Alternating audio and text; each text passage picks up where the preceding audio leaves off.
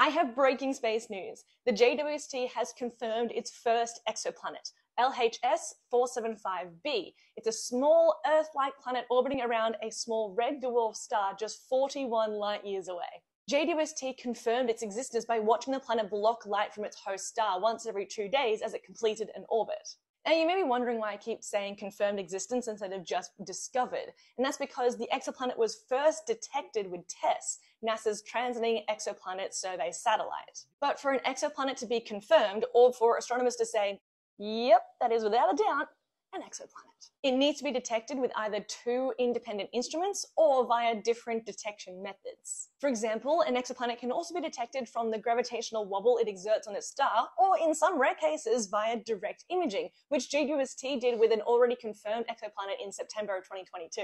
In the case of this exoplanet, LHS 475b, it was discovered using the transit method, watching it periodically block light from its host star, both with TESS first and now with JWST. So, tick, confirmed.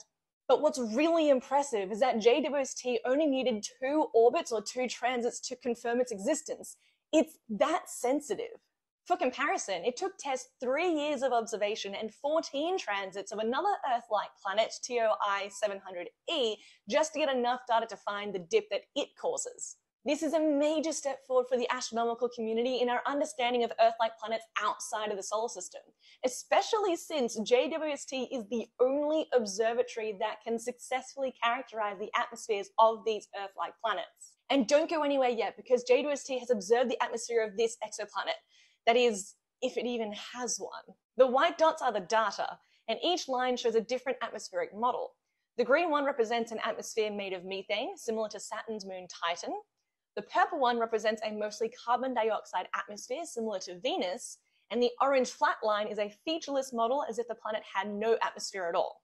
Now, there isn't quite enough data to give a clear indication of the nature of LHS 475b's atmosphere but the researchers studying this exoplanet say that the methane model is less favorable because there should be more absorption from that methane in the atmosphere at this part of the spectrum. So instead, they think that the atmosphere of LHS 475b is either non existent or a complete carbon dioxide atmosphere, which would be very compact and difficult to detect. But don't fret because the team of researchers have more time on JWST coming up later in the year to get more data to fully understand the nature of this atmosphere.